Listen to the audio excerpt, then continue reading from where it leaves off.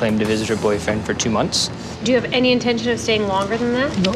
Our concern, though, is really if you decide that you guys want to be together. If he wants to marry you in two months' time, what are you going to do? I can tell you about this, but it's not a business. Are you going to stay in Canada? Are you going to look for a job here? What is your oh, intention? Oh, yes, I will stay in Canada. Where will you stay? Où est-ce que vous allez rester? Vous Un allez- hostel. Since she's meeting her boyfriend, her choice to stay in a hostel raises suspicions. What are you bringing to Canada with you today? Oh, no, c'est... The traveller claims to have only $500 in her savings account. Is this going to last you for your entire stay? Yeah, How are you going to get access to your bank account? Do you have a debit I have my card? card. You have your cards? How much money is in here? Combien d'argent Oh, ah, avez-vous? nothing. Nothing in the account. Nothing. But you said you had $500 or access. I lied. You lied. So you don't have $500. You have zero money. No. What else did you lie about, ma'am? To find out, officers will speak to her boyfriend who is waiting in the terminal. I'll let you in. Just gonna have a chat with you, okay?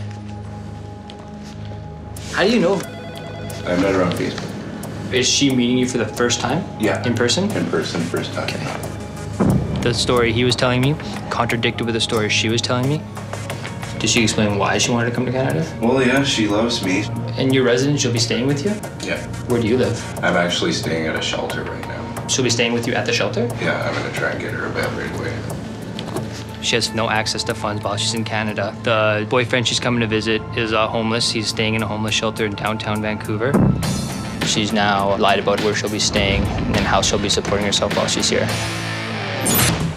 The officer consults with his supervisor. When we started the interview initially, everything she told us was one lie after another after another. Mm-hmm. She has the idea in her head that she's gonna come here, meet the guy, fall madly in love, marry him, never go home. So she's giving you a verbal admissions here to permanently reside in Canada, right? He did as well. So with that, I'm requesting an exclusion order. Sounds good. The traveller is handed over to Officer Diana, who will determine if the exclusion order will be enforced. The officer that has dealt with you previously has written a report against you, so I'm here to review that report of you. Okay? Is it your intention to live in Canada with your boyfriend? Yes. Are you in possession of a permanent resident visa to do so? Based on that information, I find that the report is valid, and as a result, um, I've determined that you are inadmissible to Canada because you are not in the possession of a permanent resident visa. You are going to be removed from Canada on the next available flight home. Il faut départ le Canada sur le prochain vol. I've came here for two months. There's a mistake. Non, je peux pas signer ça. Je suis désolée, je vais pas le signer. If you don't sign it, you need to come back here.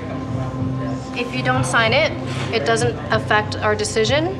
The removal order is still enforced. Do you have any questions?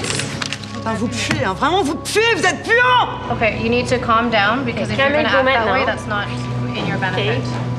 Vous êtes puants Puants Comprenez stinking T'as vu, sale pute Like I said, Sale pute you need to behave ah, and you need to stop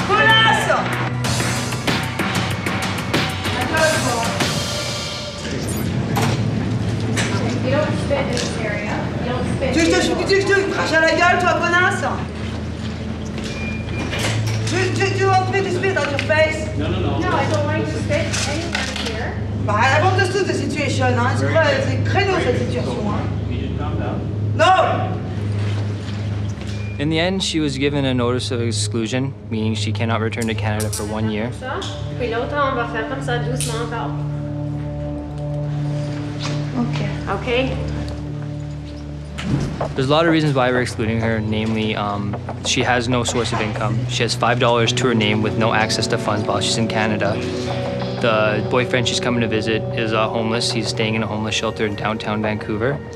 While she was staying here, the intent was to stay in the homeless shelter with him and living off public funds.